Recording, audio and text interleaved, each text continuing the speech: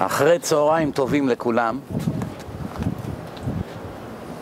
אה, תסתכל רק שזה מקליט, REC, רקורד. כן. יופי. אה, אה, לתת הרצאה בארבע אחרי צהריים בחום, בחום של לוס אנג'לס וכל כך הרבה אנשים באו, כל הכבוד. אה, ביקשו לדבר קצת על עניינים של שלום בית, זה טוב גם לרווקים. זה גם טוב למי שיש לו שלום בית, כי תמיד אפשר לעשות את השלום בית עוד יותר טוב. אה, באמת, האמת היא, מי ששם לב מה הולך, אתם אולי לא יודעים כי אתם לא עובדים עם הציבור, אבל אחד כמוני שכל לילה במקום אחר וכל פעם אנשים עומדים בתור לדבר איתו, הנה עכשיו הייתי בשבתון פה, אז כל, כל אישה שנייה שרוצה לדבר איתי, אני כבר מראש יודע על מה הנושא. תמיד זה תמיד שלום בית. במקרים בודדים זה עניינים של רפואה או דברים אחרים, אבל תמיד כמעט הבעיה היא שלום בית. פרודה מבעלה, הוא ברח מהבית, יש לו חברה, כל מיני דברים כאלה, כל הזמן זה חוזר על עצמו. הבעיות האלה של השלום בית, היית חושב, דברים כאלה מתאים לעולם החילוני, לא מתאים לעולם של בעלי תשובה. מסתבר שזה לא כל כך פשוט. גם החילונים לשעבר, אלה שכבר נהיו חזקים, אפילו גידלו זקנים, אפילו האישה היא צנועה, גם אצלם יש עדיין משקעים מהעבר, זאת אומרת, יש בעיות שלא נפתרו. והסיבה העיקרית לכך היא שאדם לא מבין מה זה נישואין, זה הבעיה. זה תמיד שורש הבעיה. תדעו לכם בחיים שלאדם יש בעיה, כשאדם יש לו בעיה, תמיד כדי לפתור את הבעיה, אדם צריך לרדת לשורש הבעיה, אם לא, הוא לעולם לא יפתור את הבעיה. למשל, יש הרבה פעמים שאנשים פותרים את הבעיות, רק את הסימפטומים. למשל, אני אתן לכם דוגמה, אדם יש לו חום. עכשיו אדם לא מרגיש טוב, חום, סחרחורת. הוא הולך לוקח שני אדוויל או אקמול, לא יודע, כן? אז עכשיו לכאורה נפתרה הבעיה, נכון? אין כאב ראש, ירד החום, יאללה, אפשר לצאת לעבודה. אז עוד שלוש-ארבע שעות יחזור החום. אז עוד פעם הוא ייקח אדוויל, אז הוא פתר את הבעיה לעוד חמש שעות. אז זה לא פותר את הבעיה. זאת אומרת, האינפקציה שיש לך לתוך הגוף, שיכולה להביא למוות, היא מתחילה לשלוח כאב ראש וחום. אתה יכול לפתור כרגע את הבעיה באופן זמני, ואז כשהבעיה מתפוצצת בסוף, אז אתה מת כבר. אותו דבר זה בשלום בית. יש הרבה פעמים שיש סימפטומים. יש ככה, ואז עושים כאילו כביכול שולם, והכל נהיה בסדר, ולכאורה נפתרה הבעיה, אבל הבעיה לא נפתרה. למשל, אם יש אדם שהוא מכונת עצבים, מה שנקרא קריזיונר, כל דבר בחיים שלו מעצבן אותו. traffic, משתולל, מקלל, צועק, מישהו צריך לבוא לפגוש אותו, מאחר חמש דקות, הוא כבר מוכן להרוג אותו. אני יודע מה זה, אחד חסם אותו בחנייה, או כבר מסוגל לרצוח אותו. כל כולו פקעת עצבים. אז ממילא מי שסובל הכי הרבה זה אשתו והילדים שלו. את כל העצבים שלו הוא מוציא על אלה שהוא מרגיש בנוח. כי הרי אף פעם היא לא תוכל לעשות שום דבר, היא תקבל את החבטות והילד יברח לחדר והוא ככה פורק את העצבים שלו וממילא, אז לפעמים יש מריבה, אחר כך מתפייסים, אפילו שהוא בא להתנצל נגיד, אומר לה, תשמעי, הגזמתי, אני יודע, סליחה, זה לא יקרה שוב, אז היא מבסוטית, איזה בעל גבר יש לי, וואו, התנצל וזה, אבל אחרי יומיים, עוד פעם, שק חבטות. הדברים האלה לעולם לא ייפתרו עד שהאדם לא יפתור את הבעיה שגורמת לו לזה, שזה הכעס, מידת הכעס. לא ייגע במידת הכעס, לעולם הוא לא יפתור את הבעיות שלו, לא בנישואים ולא עם בני אדם. יחסי אנוש זה עניינים של מידות. יש לך מידות טובות, יש לך סבלנות, אתה מתנהג יפה לכל אדם, אתה מכבד כל אדם, אין עליך פוזות, אתה לא בעל גאווה. כל בן אדם בשבילך שקול, בין בו עשיר, בין בו עני, בין יש לך אינטרס איתו, בין באין לך אינטרס איתו, אפילו גוי, אפילו גוי בא, עבד אצלך, תודה רבה, קח לאכול, קח לשתות, מעריך את זה מאוד, אתה צריך עזרה. ברגע שאתה בונה את עצמך בתור בן אדם, לפני שמדברים על דת בכלל, אם אין לך מידות, אין לך, אתה לא בן אדם, אלף דתות לא יעזרו לך. תהיה, תלמד ברמה של רב. זה לא יעזור לך. אם לא תתקן את המידות שלך, עם כל הזקן היפה ועם כל שאר העניינים היפים שאתה כביכול מרשים, עדיין לא תפתור את הבעיה. למה? כיוון ששורש הנקודה לא נגעת בה. אף פעם לא ירדת לשורש. זה כמו בטיפול שורש. כשאתה בא לרופא והתנפחו לך הפנים, אז הרופא קודח, פותח את השן שתנשום, נותן לך כמה אנטיביוטיקה, אומר תחזור עוד שבועיים. ואז אתה הולך, ובאמת ירדה הנפיחות, הלך הכאב, אתה נראה נורמלי, אז מה עושה חכמולוג? לא חוזר לרופא. אבל הבעיה לא נפתרה. יש עדיין בעיה של טיפול שורש, בסוף השן תתפורר. אז מה רואים מכאן? זה מה שאנשים לא מבינים היום. כדי סתם לסתום את השן בגלל שניקית את האינפקציה, זה יחזור מחדש. ככה לא פותרים בעיות בחיים. עיקר הבעיה בשלום בית זה אנוכיות. שבן אדם הוא סלפיש, תודה רבה. ברוך אתה אדוני, אלוהינו מלך העולם שהכל נהיה בדברו. אמן. עיקר הבעיה שאדם הוא אנוכי. הוא בא לעולם, הוא גדל פה בדור של אנוכיות.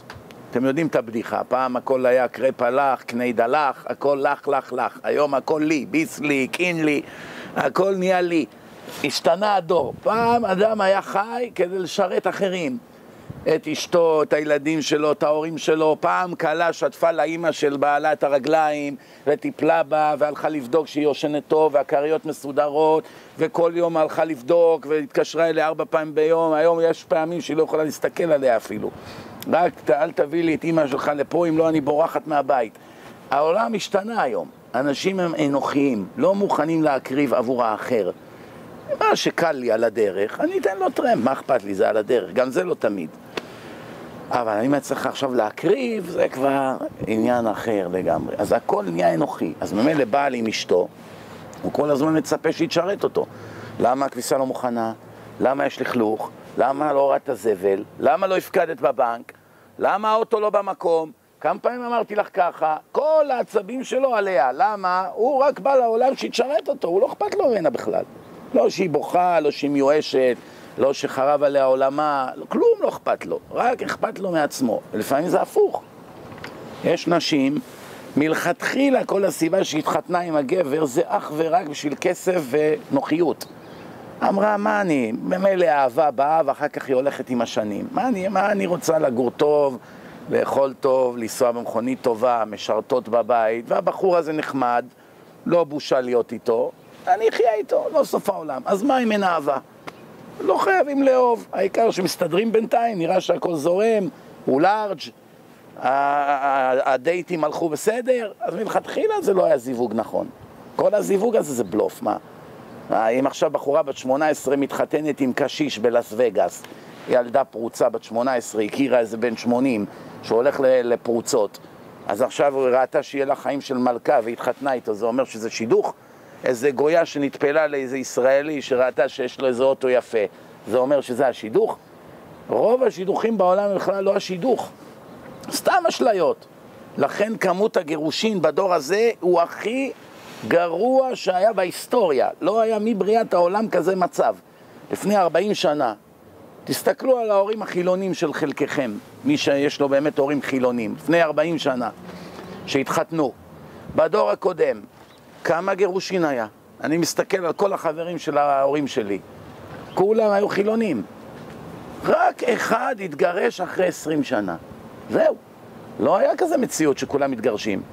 היום כל, כמעט כל מי שמתחתן, עשרה זוגות מתחתנים, לא עובר חודש מדברים על גירושין. לא עובר חודש, אין, זה לא יאומן כי יסופר.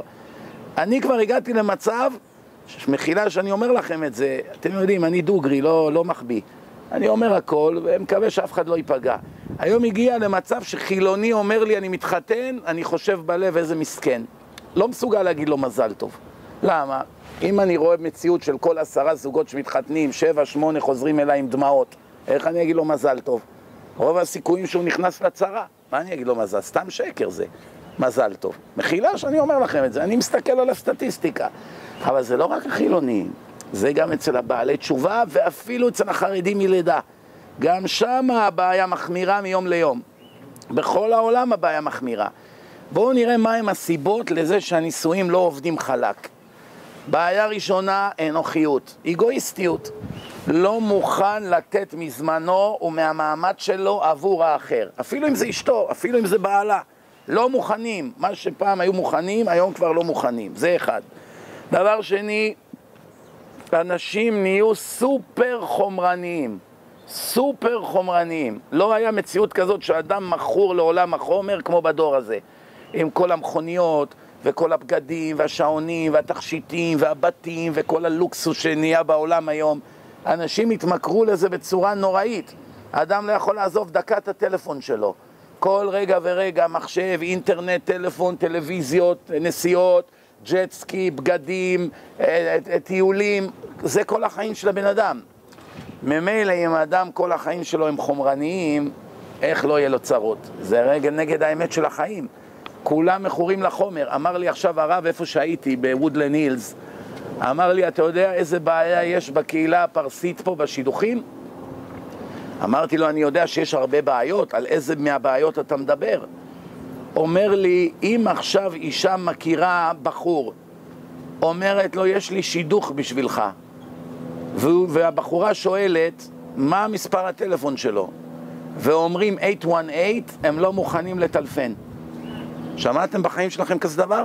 כאילו, כאילו 818 זה לא 310. אני לא ידעתי שיש הבדל, היום הבנתי שיש הבדל. זאת אומרת 310 זה לוקסוס. כנראה שהוא עשיר. אבל אם זה 818, רוב הסיכויים שהוא לא עשיר. אני דווקא ראיתי הרבה עשירים בוואלי, אני לא יודע. אבל כנראה... כנראה שזה על כל עשרה יש אחד, ושם זה על כל עשרה יש תשע. אז כבר עושים את החשבון, כנראה זה איזה עני. ומה אם הוא צדיק? ומה אם הוא יהיה עשיר? הרבה היו עניים ונהיו מיליונרים, מיליארדרים. ומה עם זה שהוא יפנק אותך ויטפל בך ויהיה בן אדם ויהיה חכם וכל מיני דברים אחרים? זה לא מעניין אף אחד.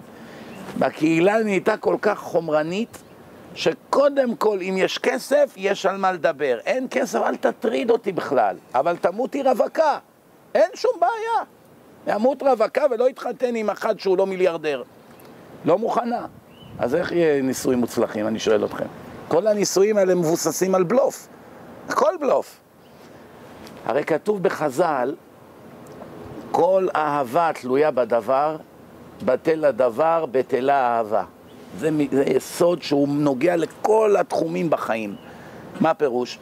אדם עכשיו יתקשר עם שותף עבור אינטרס. לא בגלל שהוא בן אדם טוב, ישר, וזה לא מעניין אותו. יש לי כרגע בו אינטרס בבן אדם הזה. ברגע שהאינטרס הזה לא יהיה בתוקף, מיד בטלה השותפות. מיד מתחילים המריבות. מה, אתה כבר לא נותן לי מה שנתת לי. כל זה היה בלוף, זה לא היה שותפות אמיתית, זה היה אינטרס. ברגע שבחורה התקשרה עם גבר בגלל שהוא עשיר, או גבר התחתן עם בחורה רק בגלל שהיא יפה, זה חשוב שהיא תהיה יפה בעיניך, אני לא אומר שלא. אדם לא יכול לכפות על עצמו להתחתן עם אחת שלא מושכת אותו מבחינה פיזית. זה גם כן טעות שנפוצה היום. אבל ברגע שאהבת אותה מבחינה חיצונית, אתה צריך לבדוק את שאר הדברים בה. אישה צנועה, נאמנה, ישרה, יש לה מידות טובות, חרוצה, היא תהיה אימא טובה, יש דברים שצריכים לבדוק, מה? לא כל דוגמנית מהעיתון יכולה להיות אימא או יכולה להיות אישה. מה בכלל, אולי היא מכורה להרואין, אולי יש לה, אני יודע מה, כל מיני ג'וקים בראש. מאיפה אתה יודע? אולי בכלל פסיכופתית, חסר פסיכופתים היום. כל כך הרבה אנשים חולי נפש יש היום בעולם שהם על כדורים וכל מיני אה, אה, אה, סקיזופרניה ופיצול אישיות ובייפולר. יש כל כך הרבה צרות היום. כמה בעיות, אנשים מגלים את זה רק אחרי החתונה. אז צריכים לבדוק טוב טוב, מה, אתה נכנס פה לשותפות של שנים. איך אתה לא בודק? העיקר שהיא יפהפייה והוא כבר מסונבר והיא עושה עליו כל מיני, אני יודע, פוזות והוא כבר השתגע לגמרי. זה נקרא אהבה שתלויה בדבר. הרי מחר היא לא תהיה יפה. נשים לא נשארות יפות לנצח. הן יפות עד גיל מסוים, אחר כך זה מתחיל לרדת ויורד ויורד. כשהיא בת 90 היא כבר לא יפה כמו שהיא הייתה בת 20. זה כולם מבינים. גם הגברים לא נשארים יפים לנצח. אלה שהיו יפים, אחרי כמה וכמה שנים האבטיח גדל. וכל מיני דברים, והרעמה נעלמה עם השנים, וכל מיני, וקמטים, ואני יודע מה, אז זה כבר לא מה שהיה פעם. אז ממילא, אז ברגע שהדבר שקישר ביניכם הלך, הנישואים נגמרו. סתם, אין שום דבר שמקשר. כל המטרה, כל הקשר היה פיזי, אין כלום חוץ מפיזי. הלך הפיזי, הלך הקשר. זהו זה, חד וחלק.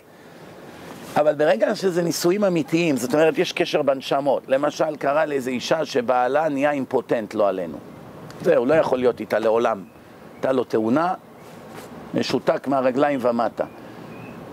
עכשיו, אם הנישואים היו רק יופי ונוחיות וכסף, אז מיד היא הייתה עוזבת אותו. היא הייתה מחכה חודשיים ככה מהנימוס, אחר כך אומרת, שמע, אני לא יכולה, מה, אני עכשיו אסבול עוד עשרים שנה איתך, ואני צריכה לטפל בך, מה, אני לא באתי בשביל זה לעולם, אז מיד היא תעזוב אותו. אבל אם הקשר היה אמיתי, היא סובלת את הסבל שלו כאילו זה היא. היא לא יכולה, לעולם היא לא יכולה לעזוב אותו. מה, זה בעלה, זהו זה. עכשיו הוא במצב שלה, היא מרגישה שהיא במצב הזה. כי זה קשר אמיתי.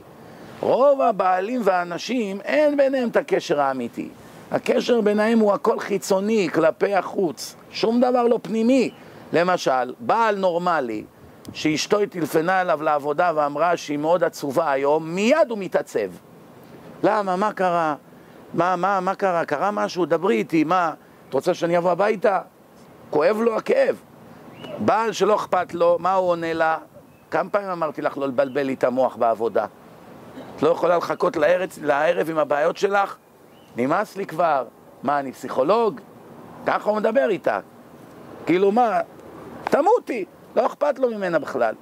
זה הנקודה, אבל אם אתה אוהב את הבן אדם, הרי בשבוע הראשון שהוא הכיר אותה והכל היה רותח, אם היא אמרה לו, קרה לי משהו ואני מאוד עצובה, מה קרה, נשמתי, מה קרה, אני, אני עכשיו עוזב הכל ואני בא, לא, אבל אני ארבע שעות ממך, מה הבעיה, אני בשבילך אסע עד סוף העולם. נשמע מוכר, לא? רק כמה חבל שאחרי שישה חודשים המשפטים האלה חוזרים לארכיון. העלו אבק. זה הכל בלוף מלכתחילה. אז אני אומר ככה, בואו רגע נבין. אמרנו, בואו נעשה רשימה של כל הבעיות. אנוכיות, התמכרות לעולם החומר, חוסר רוחניות בחיים, אין רוחניות. אדם הוא כמו בהמה, אוכל, שותה, מת... רק דברים של חומר, אין, אין, אין לו שום רוחניות בחיים. הערכים של הבן אדם הם לא נכונים. הערכים שלו. אין לו ערכים, ערכי משפחה. למשל, הוא רוצה להיות נשוי, אבל ללכת עם החבר'ה לשחק קלפים. או כדורגל כל ערב. פעמיים בשבוע יש לו כדורגל, פעם בשבוע ג'ודו, פעם הוא הולך עם החבר'ה לשתות, לילה בשבוע עשה לאשתו טובה, הוא בא הביתה. אין ערכים, לא מבין מה זה חתונה, הוא לא מבין מה הוא חתם בכתובה. מי כאן יכול להרים את היד, מכל הגברים פה, ולהגיד לי מה הוא חתום בשבועה, בכתובה, ביום שהוא התחתן עם אשתו? הוא יכול להגיד לי על מה הוא חתום. תגיד לי על מה אתה חתום. לספק את כל הצרכים של מזונותיה, צרכיה מיניים, יחסי אישות ובגדים וכל דבר ודבר. ומה עוד? עשרה דברים. עשרה דברים. מה הם? תגיד, בוא נשמע. נכון מאוד, נו, אבל מה הם הדברים העיקריים? בוא נשמע. שערה, כסותה ועונתה, מה זה? שבע אחרים המשך כבודו. מה זה שארה? מה זה כסותה? עונתה זה יחסים אינטימיים. פירוש, אם אין ביניהם אהבה ויחסים ומשיכה, זה לא חתונה. הוא לא יכול להיות איתה, היא לא יכולה להיות איתו, זה לא שייך. מה, מה, מה, מה זה פה, roommates? שותפים לדירה? זה לא עובד ככה. אז קודם כל צריך שיהיה קשר חזק. למשל היום בעולם הדתי יש הרבה בלוף בשידוכים, מה פירוש? שהתכנים רוצים לעשות כסף. רבנים, גם אם הם לא מקבלים כסף על השידוך, רוצים להשוויץ שהם סוגרים שידוכים. שידכתי את ההוא, שידכתי את ההיא. זה גם כן אגו, אבל זה לא אמת. למה? כי הרבה פעמים תופסים בחורה, הגבר לא מוצא חן בעיניה. בכלל לא מוצא חן בעיניה, מבחינה איך שהוא נראה. ומכניסים עליה מכבש של לחצים. לא, זה לא חשוב. את אישה, את צריכה להיות צדקת, הוא תלמיד חכם, הוא לומד כל היום, הוא תראי איזה גאון הוא, הוא מספר אחד בישיבה, והוא בא ממשפחה מיוחסת, סבא שלו היה הרב הראשי, אבא שלו גם תלמיד חכם, כל האחים שלו צדיקים, מה זה כל זה נוגע אליי עכשיו? אני רוצה גבר לאהוב אותו, לחבק אותו, לנשק אותו, לבוא הביתה לראות בחור שאני אוהבת בבית. מה סתם, אחד שיושב איתי יכול להיות גם סבא שלי. אז מה, גם סבא שלי היה צדיק. מה זה עכשיו שייך כל זה? כל זה זה רק טוב בתנאי שיש באמת קשר אמיתי. הרבה פעמים כופים על החתן או על הכלה, או שהוא מתחתן עם אחת שהיא לא מושכת אותו, או שהיא יותר מדי שמנה, או שהיא יותר מדי רזה, או שהיא יותר מדי נמוכה, או שהיא יותר מדי גבוהה, או שהיא לא כל כך יפה בפנים בעיניו. יכול להיות שבעיני מישהו אחר כן, זה עניין של טעם. ואז כופים עליה, או עליה. לא, לא, היא צדקת, תראה איזה בחורה, זה, זה רחל אימנו זאת.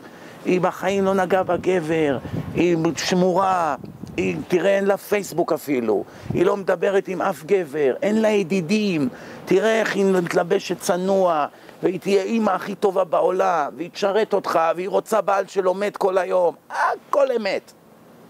רחל אימנו, לא אוהב איך היא נראית, דוחה אותו. או הפוך, הוא דוחה אותה.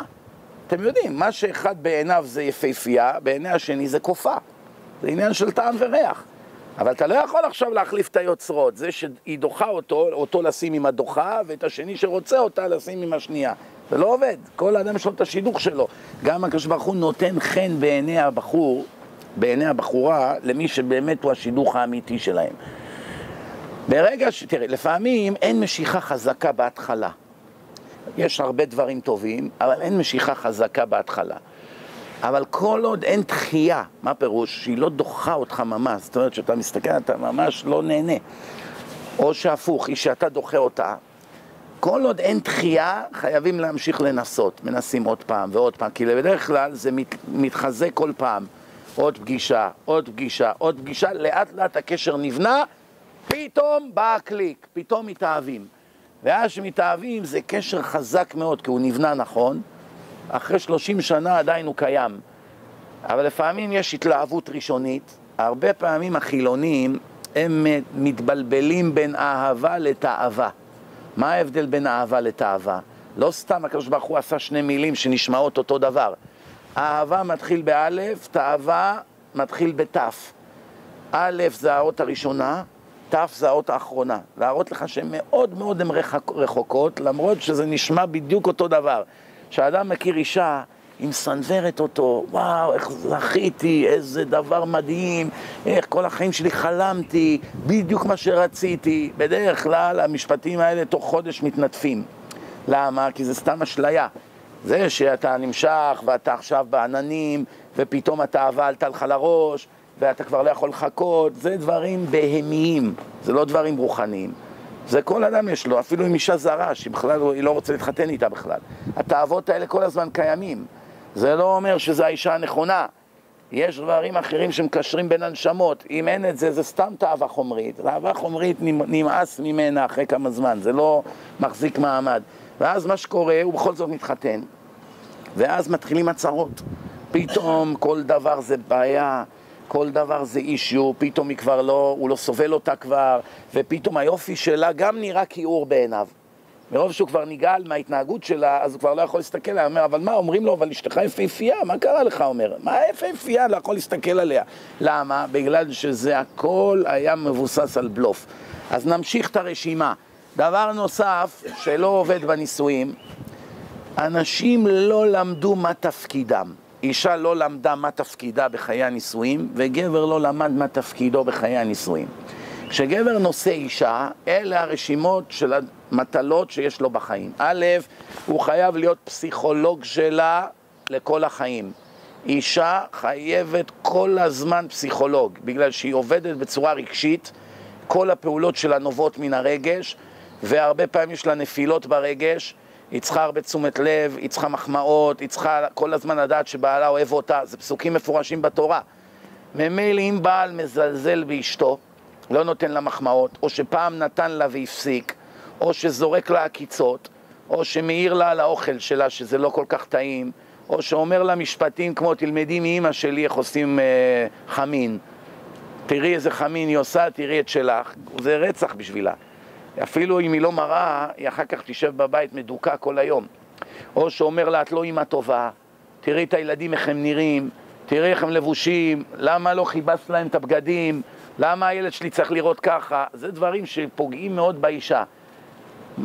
נותנים לה ביקורת, הורסים לה את, את כל הביטחון, הורסים לה את הרצון להיות איתך בקשר. תדעו לכם דבר אחד, אישה אם היא מאוהבת חזק מאוד בגבר, מאוד מאוד, נמשכת אליו, אוהבת אותו, חולמת עליו. אם הוא יומיים מחוץ לבית, היא משתגעת מתי הוא כבר יחזור.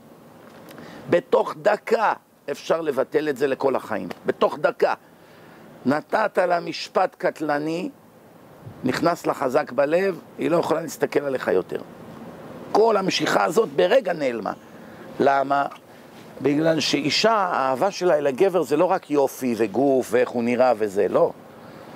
זה אם היא יכולה להתקשר איתו רגשית או לא. ברגע שהוא פוגע בה, היא לא רואה יותר את היופי. היא לא רואה יותר את הדברים הטובים בו, כלום. ואמרנו, עכשיו יש לה מחסום. כל פעם שנשים כאלה באות לבכות לי על מה שהוא עושה לה, אני אומר לה, את אוהבת את בעלך? לראות אם אולי באמת כבר מתה אהבה מזמן, מה סתם להתאמץ? יש, יש לך אהבה אל בעלך? תמיד הן אומרות, I don't know. אני אומר, מה, זה, מה זאת אומרת I don't know? לא יודעת אם את אוהבת את בעלך, הוא פוגע בי כל כך שאני לא יכולה לענות לך. אבל אצל גבר זה לא ככה. גם אם אשתו פוגעת בו, אחרי שעה, הוא עדיין יש לו את אותה משיכה ואהבה אליה. הוא לא נקשר אליה רק רגשית, זה עניין של תאווה גם. זה שונה. אבל אצל גבר, שימו לב מה קורה, אם אשתו זרקה לו מילה, שואלים אותו למחרת, תגיד, אתה אוהב את אשתך? הוא אוהב אותה בדיוק כמו שאהב אותה אתמול. אבל כשאתה זורק מילה לאשתך, נפגעת אהבה, וזה הגברים לא יודעים. והם הורסים לעצמם את החיים עם הפה הטיפשי שלהם, שהם שול, שולפים כל מיני עקיצות, וזורקים הערות, והכי גרוע, הם מבייש אותה ליד אנשים. אם היו עוד אנשים מסביב, זה בכלל, זה... ותדעו לכם עוד משהו, גבר יכול למחול לפעמים אחרי שתי דקות. פגע בו מאוד, העליבה אותו, זרקה לו מילה ליד אנשים, מאוד לקח ללב, חמש, עשר דקות אחרי זה, היא באה, מביאה לו איזה עוגה, לא יודע מה, הביאה לו איזה כוסית שתייה, כבר הכל כמעט הלך. זה לא ככה אצל נשים. אישה שומרת בלב עשרים שנה. יש נשים שבאות לשלום בית, הן שולפות משפטים מהארכיון מלפני עשרים שנה. זוכר שאמרת לי כך וכך? הוא אומר, מתי אמרתי לך כזה דבר? אומרת שהיינו שם אצל החתונה של הדוד שלך, נסענו, אומר, מה הדוד שלי כבר התגרש שלוש פעמים מאז? מה עכשיו את נזכרת בזה?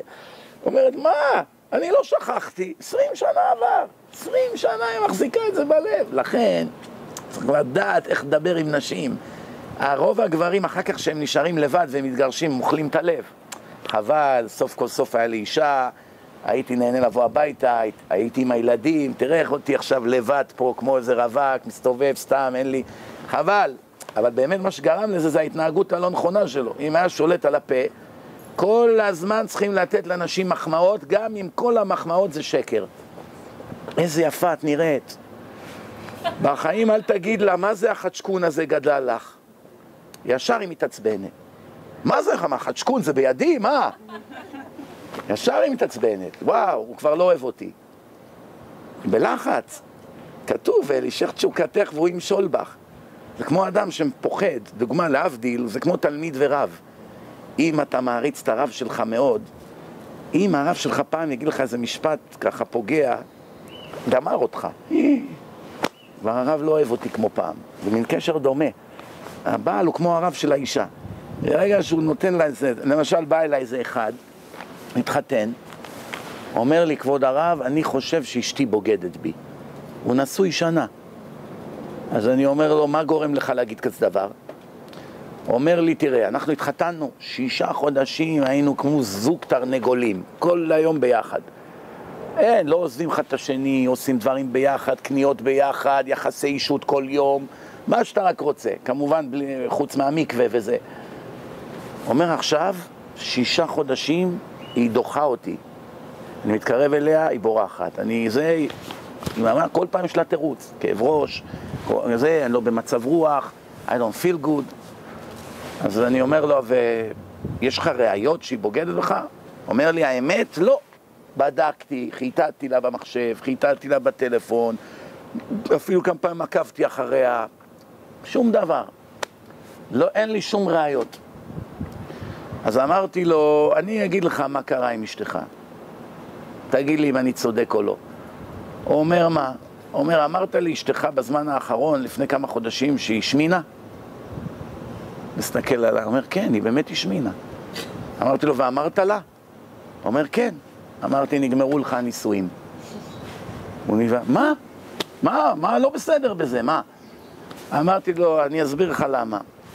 כשאשתך הייתה רזה ויפה בשבילך והיא ידעה שאתה חושק בה, היה לה ביטחון, לא התביישה לידך. יכולה לבוא חופשי, אינטימי איתך, אין לה מה להחביא. ברגע שאתה שידרת לה שעכשיו היא לא מושכת בעיניך כמו שהיא הייתה אתמול או לפני חודש, מיד היא איבדה את הביטחון העצמי שלה. ולא משנה what a show off she is. יכולה להיות המדל מספר אחד, לא משנה מי. ברגע שאתה אמרת לה משהו על היופי שלה, או על המשקל שלה, או משהו בסגנון הזה, פגעת לה בביטחון. בגלל זה היא דוחה אותך. היא לא בוגדת בך ולא כלום. אמרתי לו עכשיו, עשרים שנה תגיד לה איך היא רצתה ואיך היא נראית טוב, אתה תראה שלא תצליח לתקן את זה. עשרים שנה על מילה אחת שאתה אומר לה רעה. עכשיו, אם היו מלמדים את זה בבית ספר לפני שמתחתנים, כבר היית חותך חצי מהגירושין. כי גבר היה יודע, יש טעויות, לא עושים. כמו עם הבוס, הבוס שלי יש לו פתיל קצר, אני עושה הרבה כסף עכשיו. בחיים אני לא אעיר לו, כי אני יודע, הוא גאוותן גדול. אני אוכל את עצמי ושותק. למה? תגיד לו הערה אחת, מעיף אותך ליד כולם וגמרת את הקריירה, נכון או לא? אתה יודע את המגבלות. זה המגבלות עם נשים. יש דברים שאסור להגיד להם. אסור להגיד להם. הבנתם? גם אם אתה רוצה לשדר לה מסר דרך שליח, שחברה שלה תגיד לה, מה קרה השמנת? זה כבר בינה לבינה, זה לא אתה. יש מסרים. נגיד אתה לא אוהב את האוכל, אז שמישהו אחר יגיד לה, את יודעת, בוא, בת... אני עשיתי כך וכך. שיש דרכים איך לעשות את זה.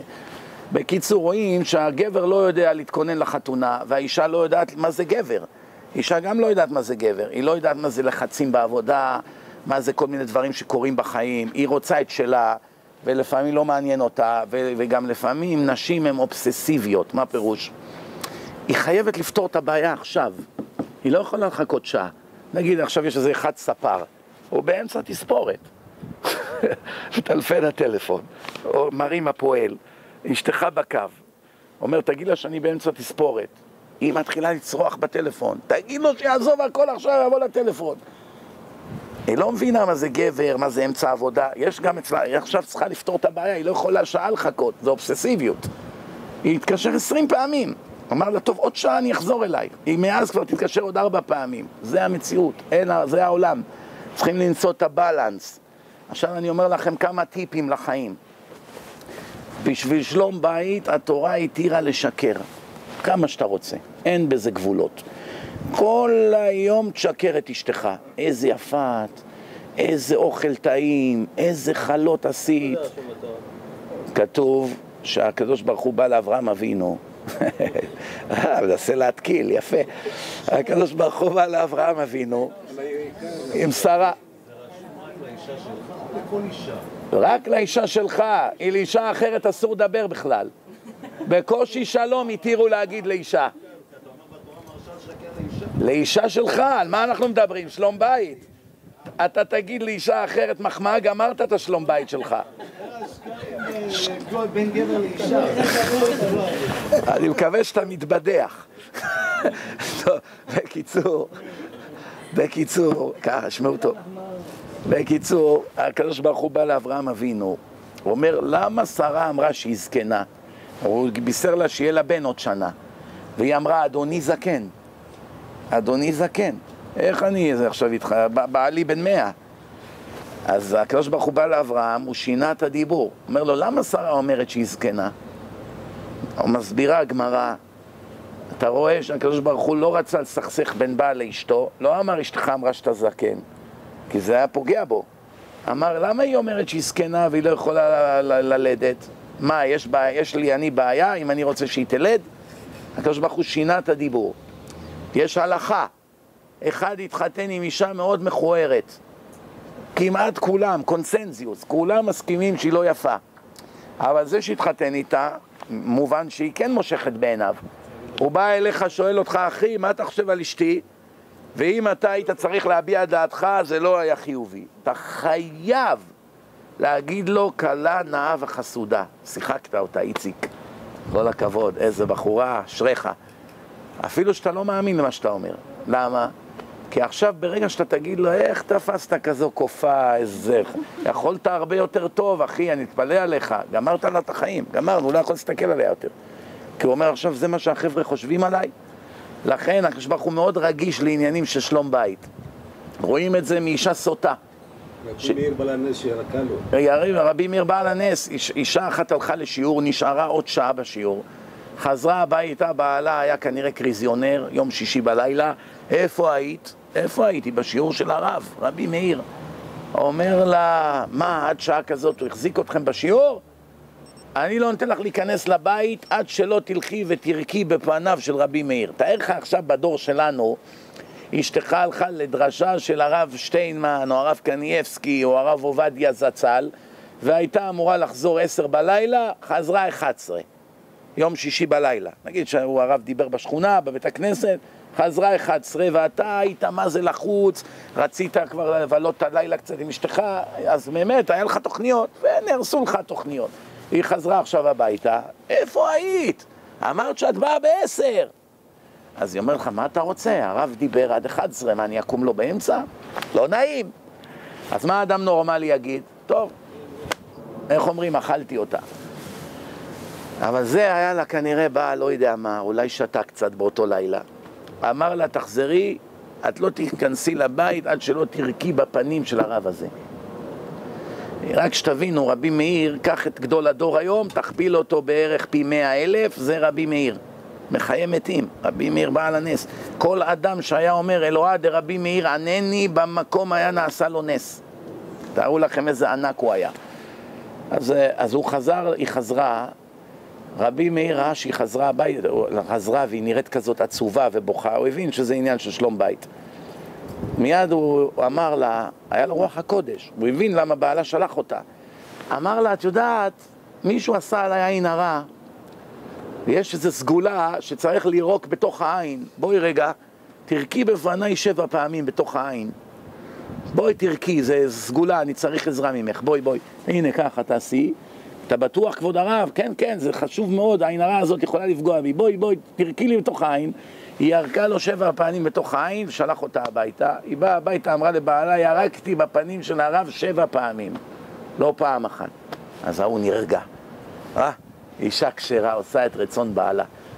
בינתיים התלמידים של רבי מאיר לקחו ללב. אמרו לו, רבנו, מה, מה עם כבוד התורה? מה אכפת לנו מהבעל המטורף הזה שלה? שילך לכל הרוחות, מה עם כבוד התורה? אז הוא ענה להם, הקדוש ברוך הוא מחק את כבודו עבור שלום בית. יותר חשוב מכבוד התורה, כבודו. אני לא אמחק את כבודי? מה אכפת לי עכשיו כבוד התורה? זכיתי לעשות עכשיו שלום בין בעל ואישה. שומעים? הקדוש ברוך הוא התיר למחוק את שמו, שזו עבירה חמורה למחוק את שם השם מהדף, כדי שיהיה שלום בית. למה בעל חושד באשתו שהיא בגדה בו? אין לה דרך להוכיח שלא. חושד, הוא נעול על זה. את היית עם הבוס שלך בישיבה ארבע שעות בחדר סגור, אני כבר לא בוטח בך יותר. אני מבחינתי להתגרש. היא בוכה לו, נשבעת לו, לא היה נעים לי, הוא הכריח אותי להיות בחדר, לא קרה שום דבר. היום בימינו אין עדים, אין מה לעשות. אבל אז בימיהם, ברגע שהבעל ככה עושה, מיד לוקחים אותה, האישה לכהן, כותבים את שם השם המפורש על קלף, שמים את זה במים, יורד הדיו, האישה שותה, אם זנתה, מתפוצץ לה במקום הרחם. אם לא, עכשיו חשדו באישה כשרה, אז היא עכשיו מרוויחה מזה בגדול. נותנים לה ברכה שכל הבנים שלה היו צדיקים, ובקיצור, היא הרוויחה מכל העניין. חשדו בה סתם. זה היה בימיהם, היום אין לנו את הניסים האלה. אין עכשיו בית, בית מקדש, אין כהן, אין... אבל רואים מכאן שהקדוש ברוך הוא הסכים למחוק את שמו, שזו עבירה חמורה מאוד. כתבת עכשיו תפילין, עבדת יומיים, יומיים הזעת בחום בבני ברק, בלחות, עם הנוצה, כתבת, כתבת, כתבת, שורה אחרונה, טעית. מילה, או שהחלפת אות, או שאות נגע באות. עכשיו, בינתיים כבר המשכת, לא שמת לב שטעית. או הדיו נזל רק אחר כך, לפעמים הדיו עומד, ואז אתה מזיז טיפה את המזוזה והוא נוזל. ואז נפסלה, נפסל התפילין. עבדת על זה מהבוקר עד הלילה עשר שעות, 12 שעות בחום. עכשיו בינתיים כתבת את שם השם. עכשיו, כדי לתקן תפילין ומזוזות, חייבים למחוק מהסוף חזרה עד לטעות, לתקן את הטעות ואז להמשיך, כי זה חייב להיות לפי הסדר של האותיות. חייב להיות בסדר הנכון. אם כותבים את זה לא, ב, לא לפי הסדר, זה פסול, אין בזה קדושה. זה חייב להיות לפי הסדר, מהמילה הראשונה לשנייה לשלישית. עכשיו, יש בעיה, אם אתה צריך למחוק, ופתאום יש לך באמצע את שם השם. אי אפשר למחוק את שם השם, אתה לא יכול לגרד את זה עם הסכין גילוח מהקלף, אי אפשר. מה? צריכים לקבור את זה. עשר שעות של זיעה ועמל, ועכשיו מאות דולרים ירד לטמיון. סופר צריך לקבור את זה. למה? שם השם, לא משחקים. אי אפשר למחוק את שם השם. תפילין, יכול עכשיו אלף דולר לקבל על הפרשיות האלה עוד עשר דקות. לגמור את זה, אלף דולר על הפרשיות לבד, אם זה סופר טוב. הלך הכסף, צריך מההתחלה לכתוב הכל. ייאוש. אין מה לעשות, שם השם לא מוחקים. אה, אבל אשתך, אתה לא יכול להיות איתה? תמחוק את שמי. העיקר שיהיה ביניכם שלום. רואים מכאן שזה חשוב מאוד. כתוב כל מי שמתגרש, מזבח מוזיל עליו דמעות. אף על פי שאחד מתרי"ג מצוות זה להתגרש. מה הפירוש? כשאין ברירה חייבים להתגרש. מה עדיף, להרביץ אחד לשני ליד הילדים ולבזות ולקלל? וכל יומיים משטרה ואזיקים וחילול השם וזה? מה עדיף? יש מציאות שחייבים להתגרש, אין ברירה. המצב הנוכחי יותר גרוע מגירושין. אז התורה אמרה, ונתן לה גט כריתות, ספר כריתות, גירש אותה. אז זה מצווה, אבל רק אם אתה תזדקק למצווה הזאת.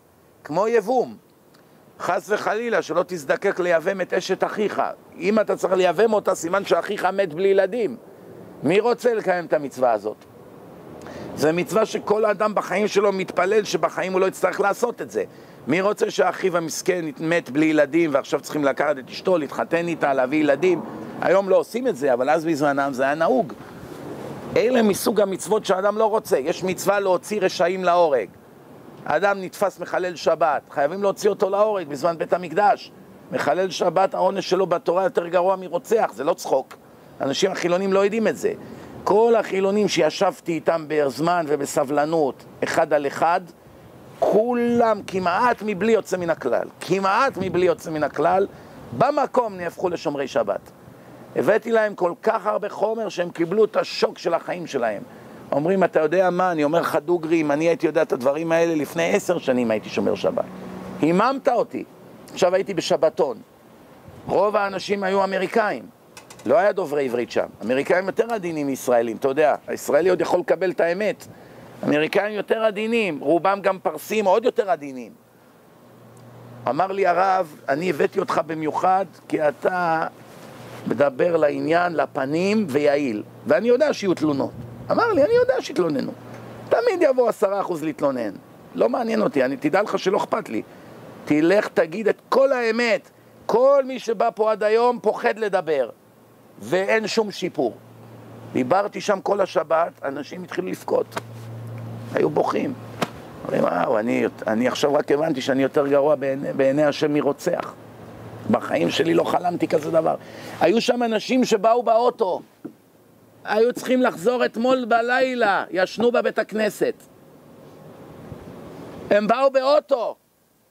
אחרי שהם שמעו מה זה מחלל שבת, ישנו בבית הכנסת. שומעים כזה דבר על הכיסאות. אמרו, אנחנו נחכה עד מוצאי שבת פה. למה? כשיהודי שומע מה זה להיות מחלל שבת, אין מציאות שימשיך לחלל שבת.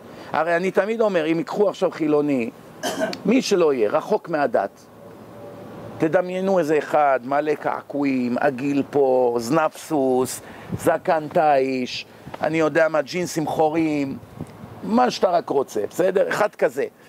ואתה מביא אותו עכשיו, אתה אומר לו, תשמע, אני יודע שאתה תפרן, אתה צריך כסף לבנקים שלך, אני מבין את מצבך, אבל אני מוכן להציע לך עסקה. אני יודע שאין לך עבודה, ומדי פעם נותנים לך פה ושם קצת לנקות וזה, ויש לי בשבילך אחלה עבודה. 20 אלף דולר ביום. הוא יגיד לי, 20 אלף דולר ביום? מה, אתה צוחק עליי? הבאת אותי להשתעשע?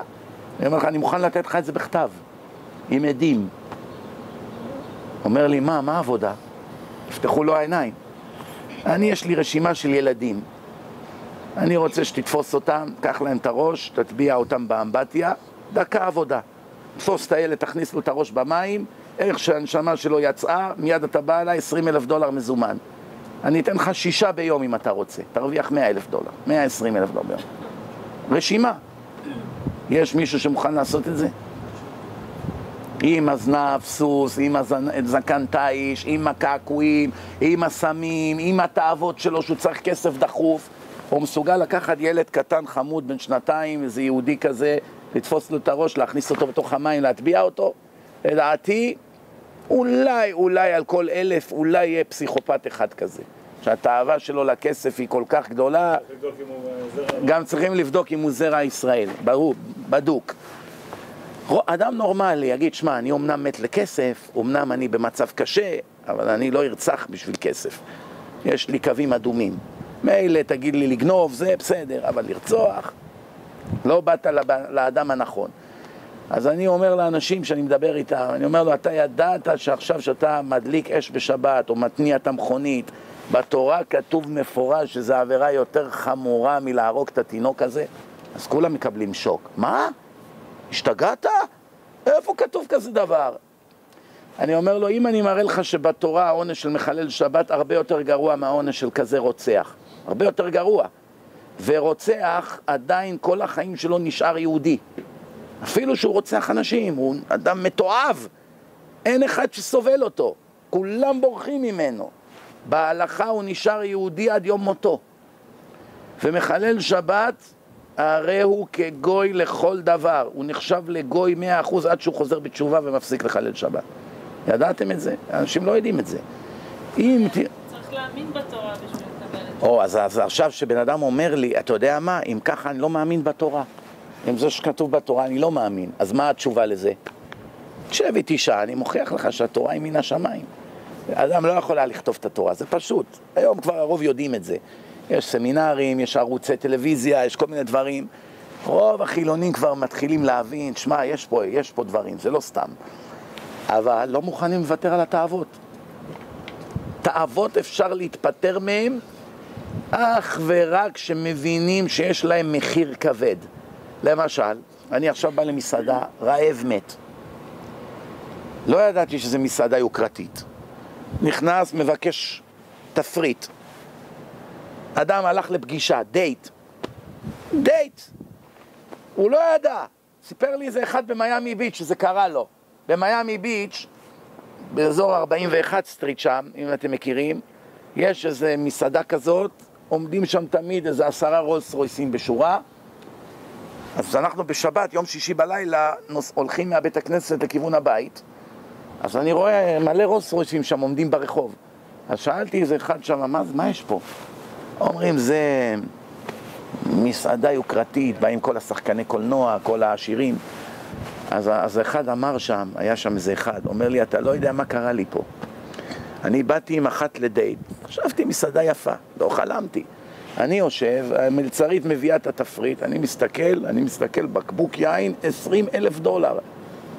אני מסתכל עוד פעם, אמרתי, אולי אני צריך משקפיים. זה ככה עוד פעם. תגידי, מה זה, יכול להיות שבקבוק עולה פה עשרים אלף דולר? גם הבחורה תפסה אליהם. אבל עכשיו לא נעים, אתה בדייט. מה היא תגיד שאתה קמצן? אבל הוא הבין שלכל תאווה יש לפעמים מחיר מוגזם. אם היה 200 דולר בקבוק, גם היה אוכל את הלב.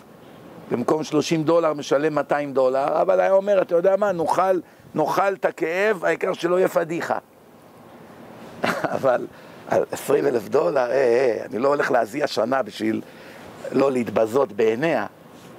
אז איכשהו יצא מהמצב, היא גם, מזלו הייתה בחורה טובה, אמרה לו, לא, לא, לא שייך פה להיות.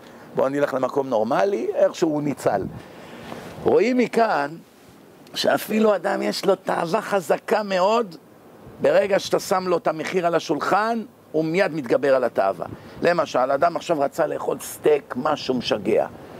סטייק יפה, איזה ריח, יום שלם לא אכלתי, אני גווע. אומרים לו, אבל הסטייק הזה עולה 400 דולר. הוא גווע. 400 דולר סטייק? מה יש? אני אלך פה לחנות הזאת. snack, snack ב-30 דולר, מה אני צריך עכשיו 400 דולר? מה רוצה, תגיד, אני אלך לחפש לו במקום אחר.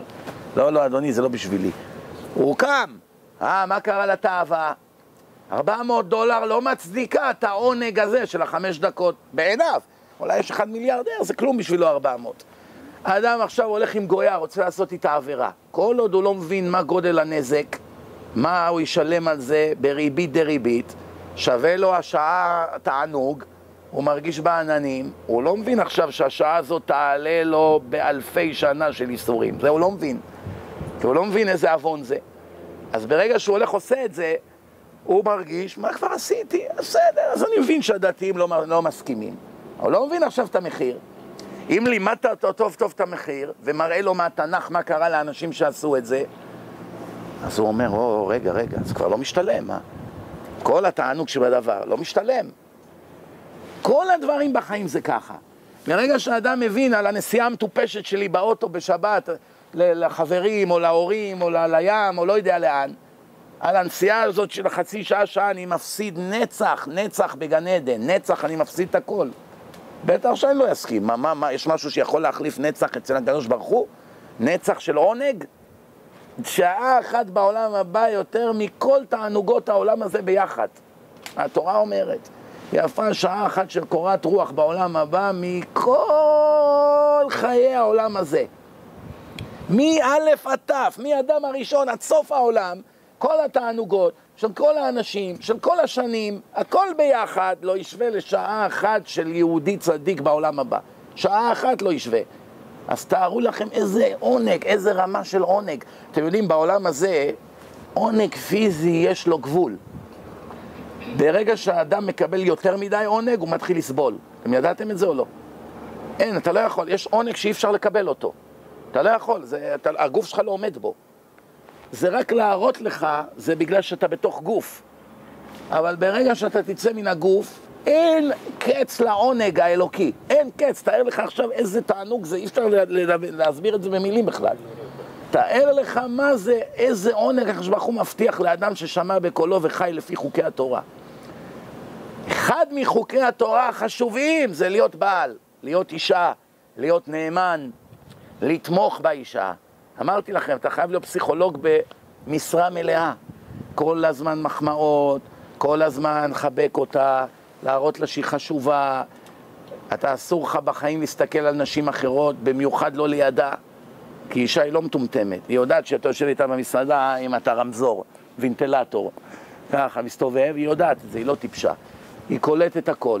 אתה חייב לשלוט בעצמך, אתה לא בהמה. ממילא אם אתה מראה שאתה נאמן, ואתה תומך, ואתה זה, בחיים לא יהיו לך בעיות. גם אם אשתך היא מרשעת באופי שלה, היא תיכנע בפניך. למה? אני אסביר לכם למה. יש איזה אדם, קמצן מאוד גדול, הוא בא אל הרב, אומר לו, כבוד הרב, אני רוצה שתסדר לי גט. לא יכול לחיות עם אשתי יותר. מעליבה אותי, פוגעת בי, אין אוכל, שום דבר לא מסודר, נמאס לי ממנה. בית כל הזמן מלוכלך, עזוב, הגיעו מים עד נפש. אומר לו הרב, תשמע, אני, הכתובה שלך, אתה חייב לאשתך, רשמת 555 אלף דולר, 555 ו-55 סנט. איך עכשיו אתה תתגרש, אתה צריך לתת לה חצי מיליון דולר? אומר, אה, אתה צודק, לא, מה, זה באמת אמיתי הכתובה? אלא מה? של מה כתבו את זה? או, מה פתאום, בשום פנים ואופן אני לא נותן לה סנט. טוב, אל תדאג, אמר לו הרב, יש לי בשבילך עצה. אומר, כתוב בגמרא, בעוון נדרים מתה אשתו של אדם. אדם שעושה נדרים ולא מקיים אותם, שלא יתפלא אם אשתו תמות בגלל זה. אומר לו הרב, הנה נתתי לך עצה להתפטר ממנה בחינם. אבל ייקח איזה חודש, חודשיים. אז תעשה עכשיו בבקשה נדר, תעשה נדר, תשמעו טוב, תעשה נדר שאתה תורם לנו בית כנסת של שני מיליון דולר, והרי אנחנו יודעים שאתה קמצן גדול, ואתה לא תיתן שני דולר לבית הכנסת, אז כיוון שאתה עכשיו לא תקיים את הנדר, תוך חודשיים אשתך עולה לעולם הבא. הוא אומר לו, באמת ככה כבוד הרב? אומר לו, גרנטי. אומר, אוקיי, הנה אני עושה נדר. אני תורם לבית הכנסת בעוד 60 יום, בית כנסת לתפארת. הוא יודע, שניהם יודעים שהוא לא מתכנן לתת כלום, אז ממילא הנדר תפס. בינתיים הרב אומר לו, טוב, תשמע עכשיו עצה. כיוון שאתה הולך לחסל את אשתך, היא לא יודעת מה, מהטריק הזה. לפחות בחודשיים האלה עד שהיא תמות, תהיה נחמד אליה. שהיא לא תעלה לשמיים בקריזה. למה? היא תבקש בעל בית דין להתנקם בך. אז תהיה נחמד אליה. תתחיל לקנות לה מתנות, אני יודע שקשה לך, תתאפק חודשיים, אבל אל תדאג, זה ישתלם לך בטווח הרחוק. קנה לה פרפיום, תביא לה פרחים, תן לה מחמאות, אל תעיר לה הערות, אל תגיד איזה רעת, אל תגיד למה יש בלאגן. תהיה נחמד, חודשיים תתאמץ. אתה מסוגל? אומר לו כבוד הרב, בשביל להתפטר ממנה גם שלושה חודשים. חודשיים תתאמץ. בקיצור, ההוא הולך הביתה, פתאום הוא מתחיל להתנהג לאשתו כמו מלאך. איזה יפה את היום. איזה שמלה יפה קנית. הלב שלו נשרף, היא קנתה שמלה ב-20 דולר בוולמארט. אבל מה, חייבים לעשות את ההצגה, שהיא לא תתנקם בי בשמיים. וואו, איזה ענקית את, כל הכבוד. וואו, איזה, איך עשית שיער ככה יפה? שיער שלה כמו מכשפה היום. אומר לה, איזה יופי, סטייל חדש, I like it. קיצור, איזה מרק, איזה אוכל, איזה זה, הנה פרחים. היא אמרה, מה קרה? נכנס בו דיבוק. התחילה גם להתרכך. כבר לא זורקת לו קללות, כבר לא מעליבה אותו. לאט לאט הורידה פרופיל. בסוף אמרה, וואו, השתבח שמו, איך אני יכולה להיות רעה לבעל כזה? איך? התחילה להיות מלאך. משה, מה להכין לך לארוחת ערב היום? ההוא בכלל בחיים שלו לא שמע כזה משפט. לך למקדונלד, מה אכפת לי עכשיו? משה, איך אתה אוהב את הדג?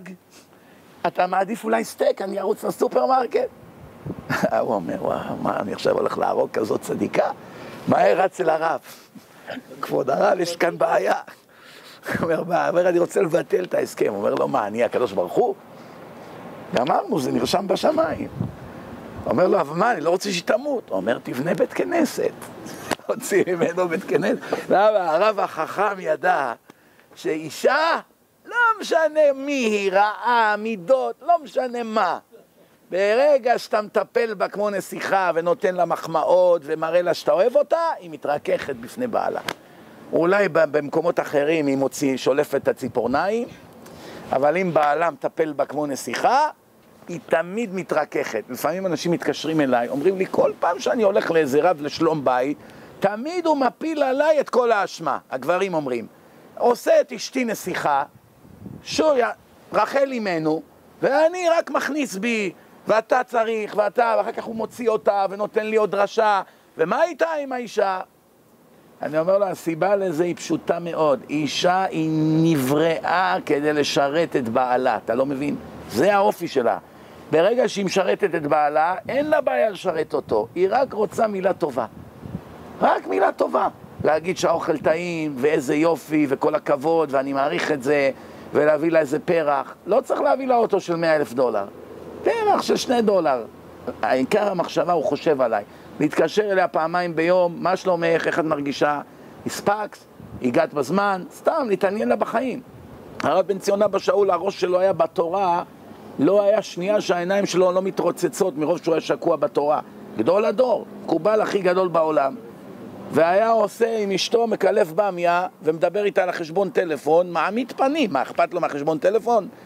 מה אכפת לו עכשיו? הוא יושב איתה, מקלף לה במיה בשולחן ומדבר איתה על דברים, והיא מספרת לו על היום שלה, בין תכלס, מה מעניין אותו השטויות האלה? הייתי אצל זאתי, והיא ככה, והיא אמרה לי ככה, וזה, והוא אומר לה, מה את אומרת? יא, וזה, כל הכבוד שלו ענית, גדולה, איזה יופי, וזה וזה, וזה ככה החיים, אין מה לעשות. לכן ממילא, גם אם הבעל רע וגם אם האישה רעה, חמישים חמישים, שניהם אשמים. ממילא, אם האישה רק תשתנה לטובה, זה לא יפתור את הבעיות. אבל אם הגבר ישתנה לטובה, זה ודאי יפתור את הבעיות. כי גם אם האישה לא השתנתה לטובה באופי שלה, לא עובדת על עצמה, אחרי חודש, חודשיים שבעלה התרכך והשתנה ונותן לה מחמאות ומטפל בה יפה, היא נכנעת בפניו. ולשך תשוקתך והוא ימשול בך. היא מוכנה, כל עוד אתה לא מעליב אותה, לא פוגע לה באגו. נותן לה מחמאות, לעיני אנשים במיוחד. באים עכשיו הדודים, חברים, אין כמו אשתי, מה זה מלאכי, אשת חיל, איך זכיתי. גם צריך לפעמים לא להגזים, שלא יהיה עין הרע. או שלהגיד עשר פעמים לפני בלי עין הרע, בלי עין הרע, אבל להגיד, בחיים אסור להגיד לאשתך ליד שאתה בא לאיזה זוג חברים, אה, אה מרים, תקחי ממנה את הרצפט, זה טעים, תלמדי איך עושים את זה, אני אוהב את זה. אל תגיד לה את זה. אפילו, מה יש בזה? מה, אני רוצה ל... אני אוהב את הסלט אה, חומוס הזה, איך שהיא עושה את זה. מה יש? אתה לא מבין מה זה אישה. אפילו בעקיפין היא נפגעת. בעקיפין. קחי ממנה את הרצפט. אם היא באה ואומרת בעצמה, בוא'נה, זה היה טעים החומוס שלה, נכון? כן, היה טעים מאוד. אתה רוצה שאני אעשה לך את זה? כן, תנסי, תעשי. אה, זה לא כמו של החומוס שלי, אה? זה מה שאתה אומר? יש כאלה עושות לך תרגילים. להוציא את זה ממך. אה, מה אתה אומר על, ה... על זאתי? מה אתה אומר עליה? אה, בסדר, מה? יפה, אה? בסדר, היא בסדר. לא, לא, את האמת, מה, היא הכי יפה פה מכולם, לא? כן, יפה. אה, יותר יפה ממני? עזוב, אני הולכת הביתה. בוא נלך. מה? מה את שואלת? מה? תהיה פיקח. מה איתה? לא מתקרבת לקרסוליים שלך. לא, אל תגזים, נו מה, מו, שמעון, אני כבר בת חמישים, היא בת עשרים, נו מה, אתה משווה? לא מתקרבת אלייך. מה, נו מה, אתה משקר, אני יודע שאתה משקר. אני לא משקר. תני לי מיליארד דולר, אני לא מחליף אותך בך. מה, החיים זה רק קצת שערות וגוף רזה? מה, מה, אני בהמה? את הפרטנר שלי לחיים, בלעדייך אני כלום. תגיד את זה לאשתך פעמיים בשבוע, תראה איזה מלך תהיה. אני אומר לכם, שלום בית זה לא מסובך, זה טכניקה, טכניקה. טכניקה, טכניקה, רק הכל עניין של טכניקה. אתה עצבני, תוציא את העצבים שלך על מוסטפא בעבודה. לא על אשתך, מה? אשתך שק חבטות? אז תלך לקריס. קריס. קריס יגיד לך, I'm very offended. תגיד לו, לך, תעוף מפה, offended. אתה צודק, מוסטפא לא כדאי לעצבן אותו. אבל תכלס, הבנתם את הנקודה. עכשיו, הזמן אוזל לאט לאט. בואו ניתן לכם אולי קצת זמן לשאלות, אם יש שאלות. תסתכל לנו זה, פעם שמעתי מוסלמים והנצחות. רבי, שאלות. יש שאלות, שאלות. מה? טיפים לנשים. בואו ניתן טיפים לנשים. קודם כל, אישה, גם מותר לה לשקר לבעלה כל הזמן. להגיד לו, איזה גדול אתה, כל הכבוד, תדע לך, אני, מאוד מעריכה את זה שלקחת את הילד. אני, אתה יודע מה? הצלת אותי. כל הכבוד ששילמת לקמפ. לא, לפעמים גברים אומרים, בואי הנה, היא רק חולבת אותי. או שהיא רוצה, אני נותן לה. היא לא מעריכה כלום. זה עיקר הבעיות בנישואים עם אנשים. כל דבר היא לא מעריכה. נתתי לה זה, קניתי לה אוטו, היא רצתה בית יותר גדול, שיניתי לה את המטבח, עשיתי ככה, כל פעם היא כופה אותי ללכת להורים שלה, ושום דבר, אף פעם לא מילה אחת של תודה. אז נשים קודם כל צריכות לדעת, לתת הרבה מחמאות לגבר ולהגיד לו הרבה פעמים תודה.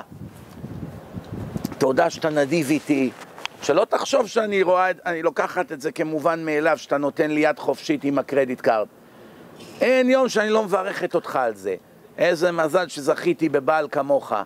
וכל הכבוד, ושהוא במשבר, היא תומכת בו. יש פעם, יש איזה מעשה שהיה, היה איזה אחד חילוני, הוא היה שותף במגרש מכוניות בארץ, מעשה אמיתי שהיה, עם שני עבריינים.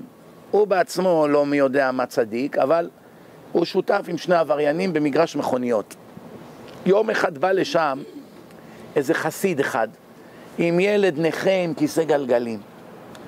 והוא השאיר את הילד בחוץ, והחסיד נכנס לבודקה, יש להם כזה בודקה בחוץ, נכנס לבודקה, אומר להם, אני צריך אוטו עם בגאז' גדול. השאר תפסו זה פראייר, מה הוא מבין במכוניות? יש לך רישיון? הוא אומר, כן. אומרים לו, יש לנו אוטו בשבילך פגז, במחיר מציאה. וולבו, בגאז' גדול, בינתיים האוטו של המנוע של האוטו הזה גמור. שמו לו כל מיני שמנים מיוחדים וזה שייסע עוד יום-יומיים וישבוק מנוע. עשו לו כל מיני טריקים. והמנוע הזה גמור, הוא לא שווה האוטו הזה אפילו אלף דולר, כלום. אבל מה? הם ראו שזה פראייר, התחילו להגיד לו, זה אוטו מצוין, זה וולבו, זה אוטו חזק, זה בטוח. אה, טוב. אז ההוא אומר, בסדר, כמה? אומרים לו, 7,000 דולר. מסכן, הביא איתו כסף. הלווה מגמחים וזה, חסיד, מה יש לו כסף? התחיל, בא לספור את הכסף, עכשיו החילוני הזה, בינתיים, שתוך כדי המשא ומתן, הוא יצא רגע החוצה וראה את הילד הנכה על הכיסא גלגלים. הוא אמר לו, מי אתה? אומר לו, אבא שלי בפנים, הוא קונה ממכם אוטו. אומר לו, מה, מה, למה אבא שלך קונה אוטו וזה? כאילו, אומר, אני, אני נכה, אז אבא שלי לא יכול יותר לשלוח אותי לישיבה עם אוטובוס. בגלל הכיסא גלגלים, אין לו ברירה, הוא צריך לקנות לי אוטו שהוא יוכל לשים את הכיסא גלגלים בבגאז'. עכשיו החילוני הזה שמע ככה, זה נשמה של יהודי. כאב לו הלב, עם כל הרצון שלו להרוויח, כאב לו הלב. הוא מיד נכנס פנימה, הוא ראה שהם עומדים למכור לו את האוטו הגמור. אמר לו, תשמע, אדוני החסיד, כבוד הרב, אתם יודעים, כל חסיד בעיני החילונים הוא כבר כבוד הרב. כבוד הרב, יש לי בשבילך אולי אוטו אחר, למה נדבקת דווקא בוולבו הזה? תראה כמה מכוניות יש פה. יש כאן זה, יש כאן את הסובארו, יש כאן את הזה, יש כאן... אז החסיד אומר, אני מצטער, אני לא מבין במכוניות. הש- השותפים שלך ממליצים על הוולבו. הוא אומר, נכון, נכון, אבל יש מכוניות לא פחות טובות מהוולבו, גם במחיר טוב. בוא, בוא, אני אראה לך. עכשיו, אלה השני עבריינים, מה זה, מה אתה בא להפריע למכירה? אומרים, עזוב אותו, הוא היום שיכור זה, עזוב אותו. עכשיו החסיד אומר, נו, אז הוא כזה נהיה נבוך. הוא כבר בא לתת להם את הכסף, הוא אומר לו, בוא, בוא, בוא איתי, בוא, בוא. שמע ממני, עזוב, הוולבו הזו היא לא טובה, אל תקנה אותה, בוא. בוא, אני אראה לך אוטו באמת טוב. עכשיו הוא שמע ככה, החסיד אמר, בוא'נה, אני מתעסק פה עם נוכלים. לקח מהר את הכסף, ברח. אמר לו, תודה, תודה, אני מעריך את זה, תודה. לקח את הכיסא גלגלים, ברח. אלה השני עבריינים ראו ככה, התחילו איתו אגרופים, מכות, שברו עליו כיסא. ההוא מסכן עכשיו, אומרים לו, אין, חביבי, אין, אין, אתה לא יכול להיות פה שותף. אתה לא, אתה הרסת לנו עכשיו מכירה, כל אחד מאיתנו היה צריך לעשות אלפיים דולר לכיס, אני הפסדתי אלפיים דולר, אתה תשלם אותם. וגם השני, אותו דבר.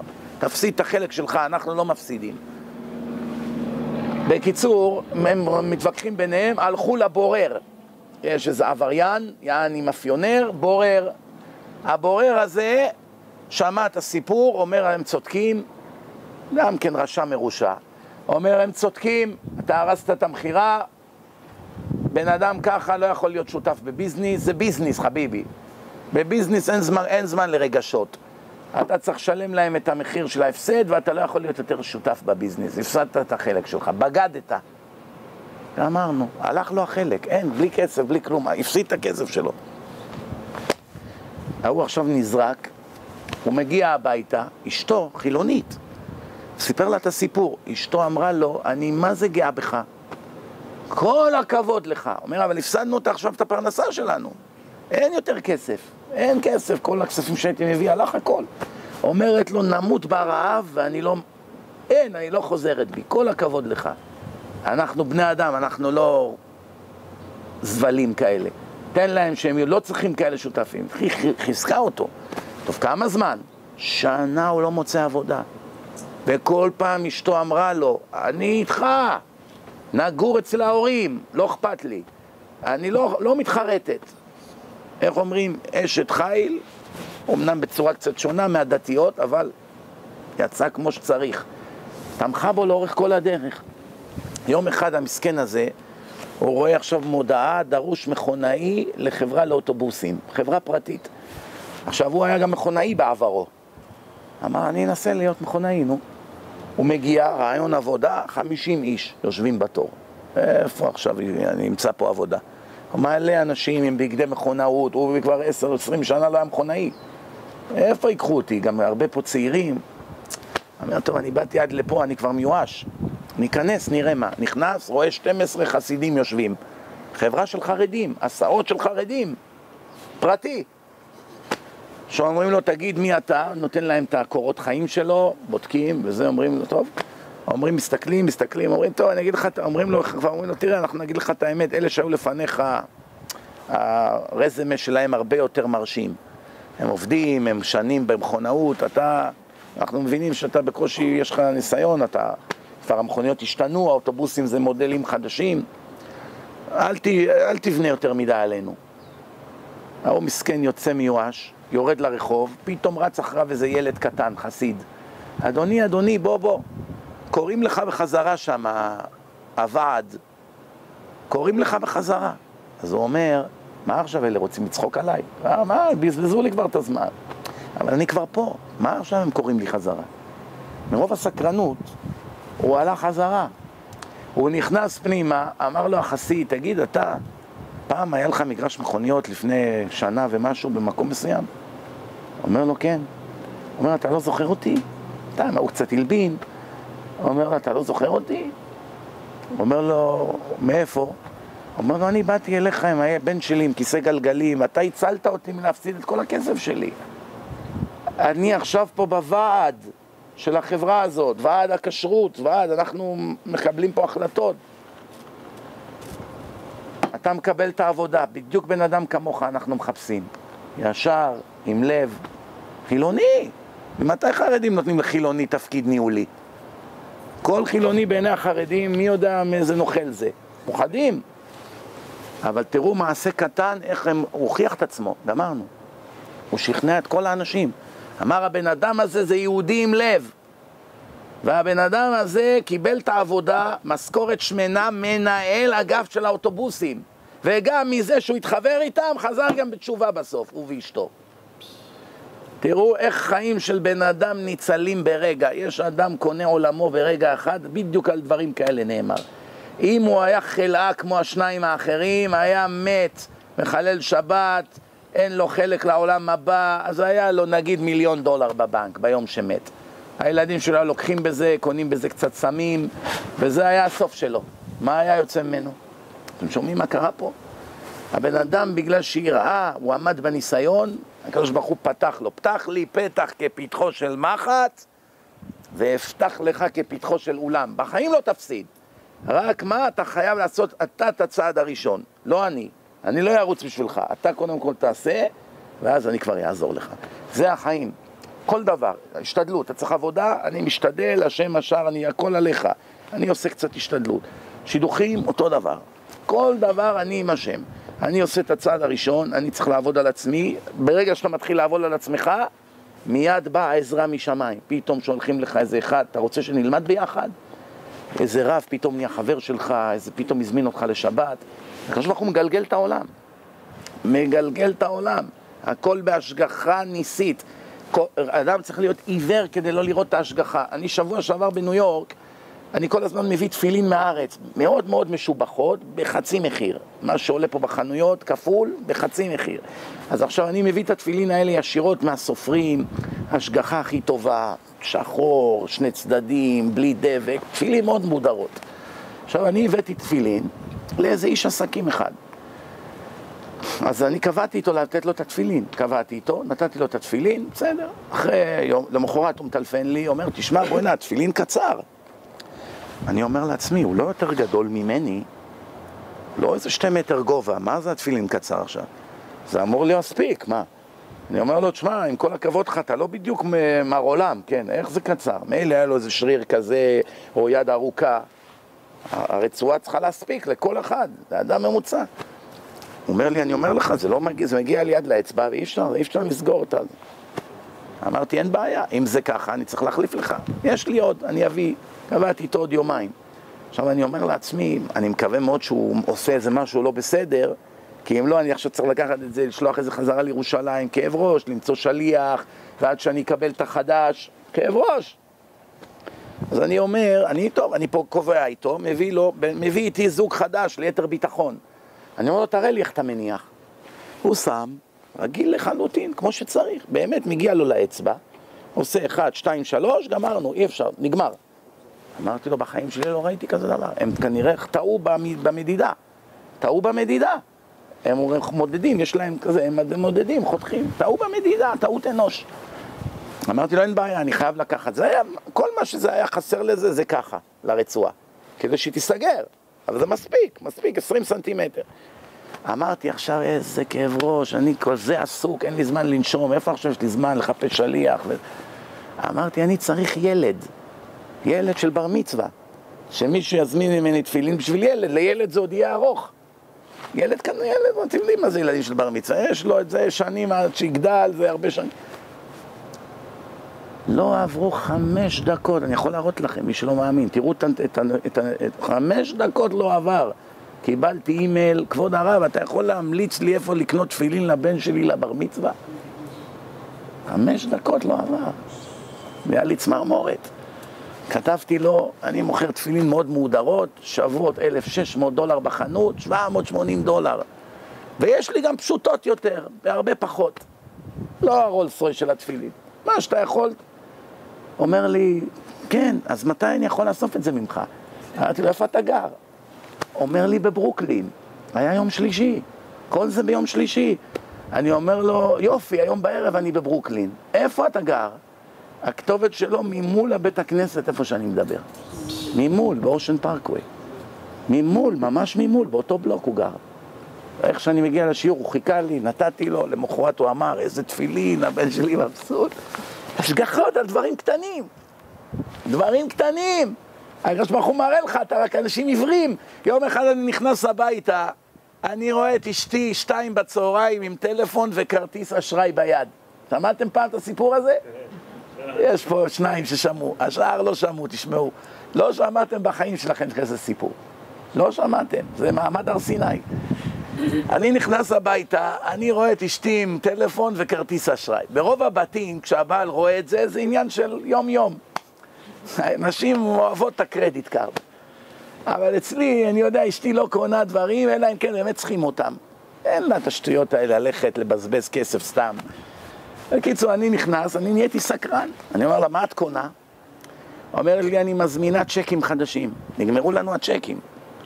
אמרתי לה, יופי, מאיפה את קונה? אומרת, מאיפה שהזמנו לפני שנתיים.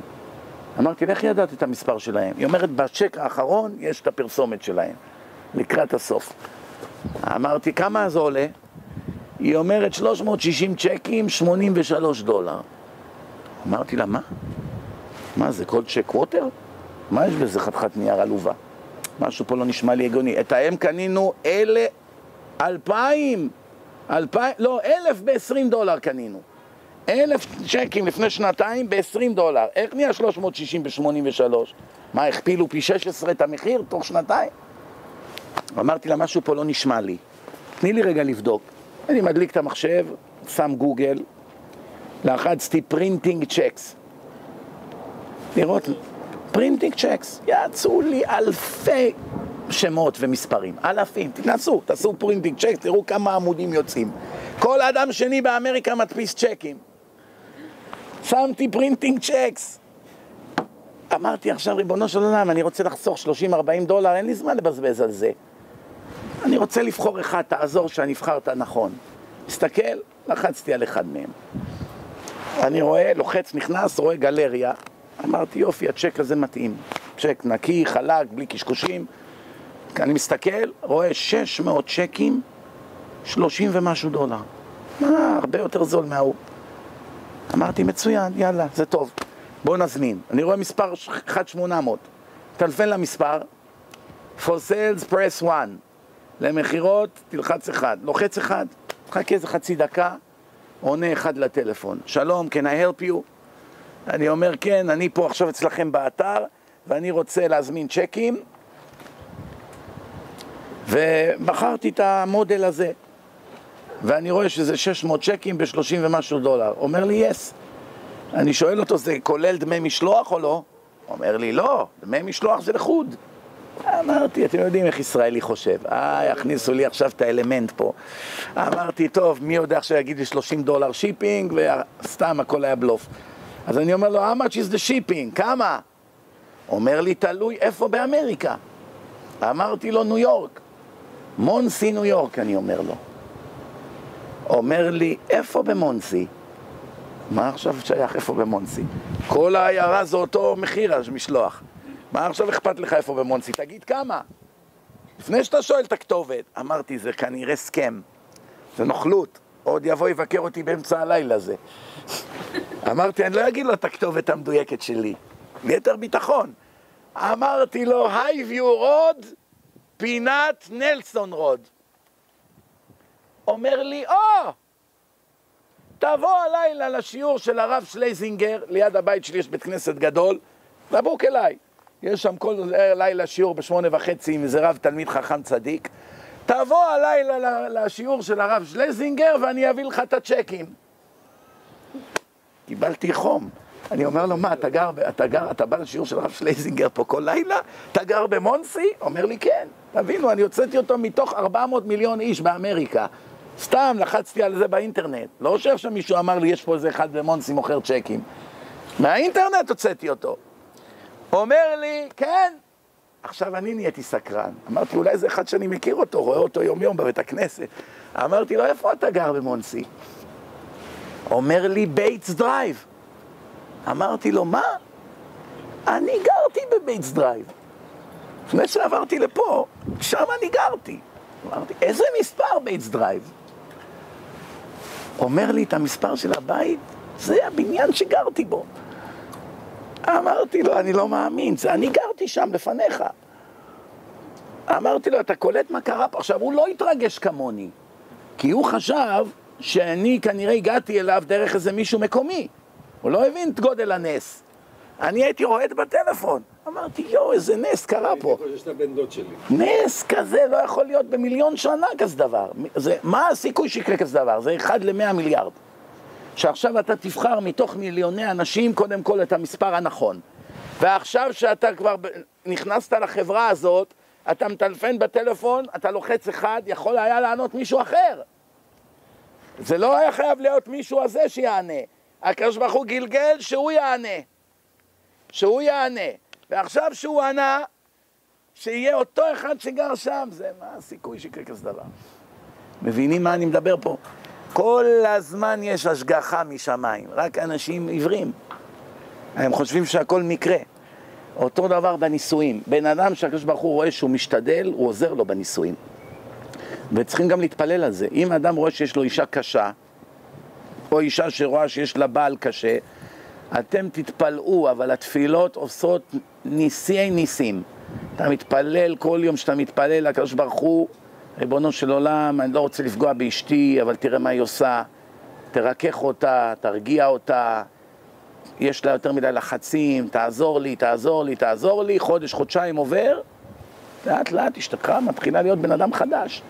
תפילה עוזרת, חביבי. זה, כי הקדוש ברוך הוא אוהב לעזור לאדם שהוא מבקש דבר נכון. כמו אבא ובן, שהבן שלך אומר, אבא, תעזור לי ללמוד תורה.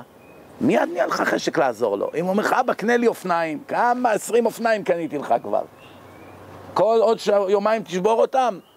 אבל כשהבן שלך אומר, אבא, אני לא מבין את הגמרא, אתה יכול להסביר לי? איזה כיף נהיה לך פתאום. או אבא, אה, אני רוצה ללכת לאיזה רב אחד גדול בא לבית הכנסת הזה ואני רוצה ללכת לקבל ממנו ברכה, אבל אין לי איך ללכת, אתה יכול לקחת אותי?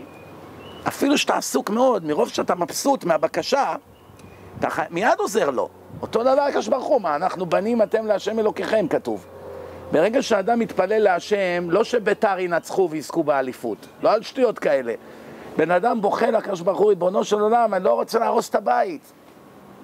לא רוצה גירושין, לא רוצה שהילדים יהיו בלי אבא ואימא בבית. אני מוכן, אני מוכן להקריב, כמה שיעלה לי שיעלה, תעזור. ניסי ניסים קורים. פתאום אשתך הכירה איזה מישהי, איזה רבנית, והתחילה לדבר איתה, היא הולכת פתאום לחוג לתהילים או הפרשת חלה, ופתאום הכירה שם איזה חברה דתייה, והיא משפיעה עליה לטובה, ופתאום היא נהייתה אישה יותר צנועה, זרקה פתאום את הפייסבוק. פתאום אתה רואה ניסים. זה, רול, זה רק בזכות התפילה. ברגע שהאדם בוכה לקדוש ברוך הוא על דברים אמיתיים, תעזור לי, תעזור לה, תעזור לנו, תעזור לילדים, תעזור, תעזור, תעזור. הקדוש ברוך הוא מבסוט מזה, אומר, או, סוף סוף נהיה בן אדם הפלגמט הזה. עד עכשיו ביקש רק שטויות. סוף סוף מתחיל להתפלל לדברים ברומו של עולם. אז אחד כזה יש יותר סיכוי שהשם יעזור. לפעמים האישה היא הניסיון שלך בחיים. השם דווקא רוצה שיהיה לך אישה קשה. דרך אגב, שתדעו, כתוב, שלושה דברים מצילים את האדם מן הגיהנום. אם אתם לא מבינים מה זה גיהנום, תראו סרט על אושוויץ, תראו סרט על אושוויץ, ותכפילו את זה פי אלף. זה גיהנום. אז תחשבו לכם מה זה גיהנום, זה דבר מפחיד, נורא ואיום, מה שהולך שם. אז כתוב שלושה דברים מצילים את האדם מן הגיהנום. מה הם? אחד מהשלושה, אישה רעה. אישה שממררת לו את החיים, היא לא מבשלת לו, לא מכבסת לו, יום אחד היא כן, יום אחד היא לא, לפעמים היא מונעת אותו מלהיות איתה, כל מיני דברים כאלו. אישה כזאת מצילה את האדם מן הגיהנום. תדעו לכם, זה לא פשוט. הפולניות. זה לא בדיחות, זה אמת. ויש שלושה דברים. אחד, עניות. אדם שהוא, איך אומרים, תפרן רצח. אין לו כסף אף פעם, אין לו להוצאות מינימליות. כל הזמן סובל עוני. לפעמים יש לו מה לאכול, לפעמים הולך לתומכי שבס, תביאו לי ארגז, אין לי לשבת. זה נורא, זה, זה חיים נוראים ככה. הוא לא יכול אפילו לקנות תפילין לבר מצווה של הבן שלו, הוא צריך כל הזמן לבוא לרב, לבכות לו, אולי יעזרו לי כבוד הרב וכולי. אז מה רואים מכאן? אחד כזה שחי כאלה חיים, זה עוזר לו, מציל אותו מן הגיהנום. זה הגיהנום שלו בעולם הזה. ואחד שסובל מהבטן. כל הזמן כאב בטן, נפיחות, גזים, אולקוס, שתה מיץ תפוזים, שעתיים כואב לו הבטן. אני יודע מה, אכל בשר, שלוש שעות לא יכול לזוז. גם אם הוא לא שומר שבת? אז זה עוזר. אם אדם לא שומר שבת, הוא נפטר, הוא במעלה של גוי. הרי הוא כגוי לכל דבר. גם אם יישרף לו הבטן בלהבות, לא יעזור לו. גם אם אשתו תשתה לו את הדם עם קש, לא יעזור לו. גם אם היה לו 100 מיליון דולר והפסיד הכל בדקה, לא יעזור לו. בלי שמירת שבת, אין, כתוב מפורש, ונכרתה הנפש ההיא מישראל. ומה עם הבנים שלו? אם הבנים שלו מה? אז הבנים שלו יקלו עליו את הגיהנום, זה כן. גם הוא שמר בעבר, ואחרי זה לא שמר, או שמישהו שלא שמר בכלל, זה הכי גרוע. מי ששמר והפסיק יותר גרוע ממי שלא שמר לעולם. כתוב, שנה ופירש קשה מכולם. כתוב מפורש, בגמרא. מי שלמד תורה והיה דתי ועזב את השם, טעם מהטוב של השם ועזב, יותר גרוע מאחד שגדל בקיבוץ ולא יודע מה זה הטוב של השם. הרי כתוב טעמו ראו כי טוב השם. אני אתן לך דוגמה. אישה עכשיו עשתה עוגה. השקיעה בזה שעה, עבודה, שעתיים עבודה. שני אנשים באים אליה הביתה. אחד מלכתחילה אומר, לא, לא, אני לא יכול לאכול. אני, אני מפוצץ, לא יכול לאכול. תודה, תודה, לא יכול. והשני טעם ביס ולא נגע. מי פוגע בה יותר? זה שטעם ועזב. הוא הרבה יותר פוגע בה. אה, כנראה העוגה לא טובה. הוא לא אכל. הבנת? מי שלא ניסה,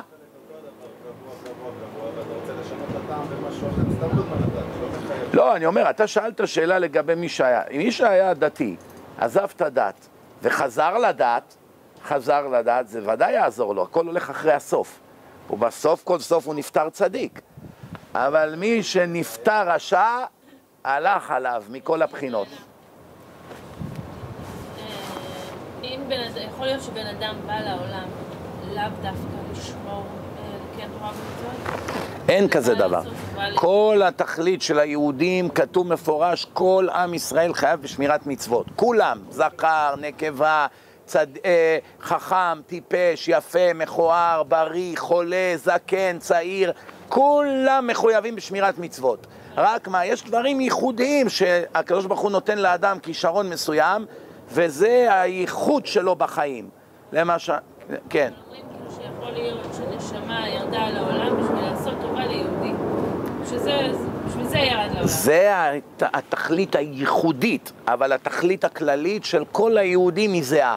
כל היהודים בעולם חייבים בשמירת שבת, חייבים בצניעות, חייבים באכילת כשר, חייבים ב- לא לדבר לשון הרע, ועכשיו יש לך עזרה ליהודי מסוים, זה באמת, הקדוש ברוך הוא שלח אותך לעולם בשביל הרגע הזה, אבל כל שאר הדברים, מה, אתה לא יכול להיות גוי? כן, בשביל... זה רק מדובר במידות. שאדם, אם אדם תיקן את כל המידות, אז כשהוא בא לעולם אין לו מידות רעות, כי הקדוש ברוך הוא לא שלח אותו עוד פעם עם ניסיונות. אבל עדיין אדם עם מידות טובות, שאין לו הרבה מה לתקן, הוא בא לעולם רק בשביל לעזור לעולם. עדיין הוא חייב לשמור מצוות. הנה, הארי, הארי הקדוש אמר, שהוא, ביום שהוא נפטר, הוא נפטר פחות מגיל 40, וכולם בכו וזה, הוא גילה להם סודות משמיים, ובסוף נגזר עליו למות. אז הוא אמר להם, אם השם ייתן לי רשות, אני אחזור לעזור לדור, בגלגול. הוא חזר בטור הרשש, רבי שלום שרעבי מתימן, זה גלגול של הארי הקדוש. עכשיו, הארי לא היה צריך גלגול, הוא היה מושלם, מושלם, במדרגה מעל מלאך.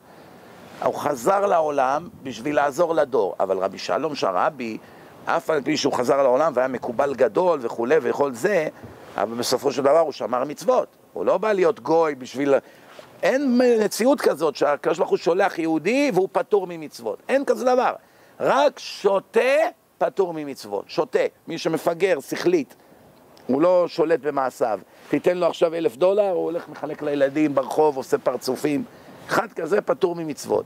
אבל כל עוד אתה מבין, זה כסף, זה זבל, זה זה, אתה מבין. אתה מתפקד, אז אתה מחויב במצוות. אין מציאות. אחרת הקדוש ברוך הוא לא היה שולח אותך לכאן. אתה לא בעל חיים. מי שהקדוש ברוך הוא רוצה לתקן אותו בלי מצוות, הוא שולח אותו בתור כלב, או שור, או שפן. הוא שולח אותו בגלגול של בעל חיים, או בגלגול של צומח, או דומם. זה תיקונים בלי בחירה, או בגלגול של אוטיסט. אוטיסט, אין לו שמירת מצוות, הוא פטור. הניח תפילין, לא הניח, זה לא משנה כלום. אין, אין בעיה, הוא פטור. ברית אבא שלו, זה מצווה של אבא שלו, אבא שלו עושה לו. חוץ מזה, בגיל שמונה ימים עוד הוא לא יודע שהוא אוטיסט. זה בר מצווה, בדרך כלל זה מגלגים מגלים את זה בגיל שנתיים וכולי. בר מצווה עושים בשביל הבושה. באמת, הוא לא חייב לעשות לו בר מצווה. הוא לא, הוא פטור ממצוות. למה עושים בר מצווה? זה יותר מסיבה למשפחה, זה לא... כן? אה, אה, אה, גם אם אדם נורמלי לא עושים לו בר מצווה, אין בזה שום בעיה. העיקר לקנות לו תפילין, ללמד אותו להניח תפילין, הלכות תפילין, זהו זה, לא צריך מסיבה, לא צריך כלום. אתה יכול להרים לחיים עם החבר'ה, גם להביא קצת עוגות, זה הבר מצווה, לא צריך תזמורת, ולהביא אותו בכרכרה, אולמי נפטון, אולמי זה, לא יודע מה, לא צריך את כל זה. הצדיקים הגדולים, איך, איך עשו להם בר מצווה? בחיים, בבית הכנסת. הוא הניח תפילין, אם היה מצלמה, צילמו תמונה, בשחור לבן, אתם יודעים, מכירים את המצלמות האלה? אתם עוד לא נולדתם. היא, היא כבר בגיל שלי, אז היא יודעת על מה מדברים. היו ככה, הצלמים, מעבירים תמונה עם גלגל. היום הכל בתוך טלפון קטן, שניות. רץ, עושה ככה, מרכיב כל מיני פלאשים, עמודים, ככה זה היה. צילמו תמונה, הנה יש לו תמונה בשחור לבן מהבר מצווה, זהו. מה היה? הרב חיים קניאסקי עשו לו בר מצווה, כוס קוניאק, כמה עוגיות, הרב שך, אמא שלו שלחה לו תפילין עם שליח, זהו. שום בר מצווה, הוא בישיבה, תשאר תלמד, עזוב. לא חייבים. היום החילונים מחפשים סיבה למסיבה. ברית, קנו את הבניין בשביל לעשות מסיבה. תזמורות, תזמורת מאוזבקיסטן, תזמורת מפרס. סך הכל חתך תחתך מהילד, מה אתה עכשיו הופך עולמות? בר מצווה, הילד החילוני בא, אודה להוריי היום ב- ביום קבלת עול מצוות. איזה מצוות? עוד, עוד מעט הולך לאכול חזיר בשבת על האש. איזה, מה אתה עכשיו עושה מסיבה? מסיבה צריך שיהיה לה סיבה אמיתית, לא בלוף.